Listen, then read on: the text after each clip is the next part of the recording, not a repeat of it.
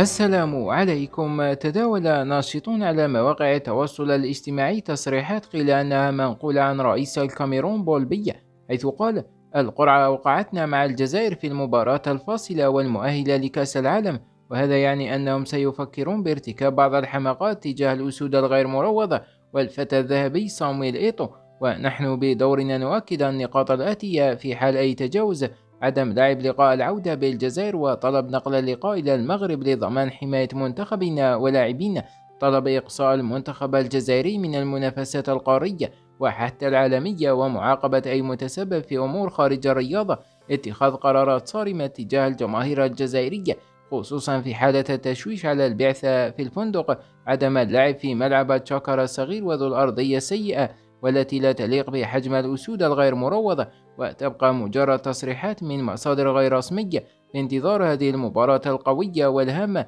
والتي ستمكن الفائز فيها من التأهل إلى مونديال قطر 2022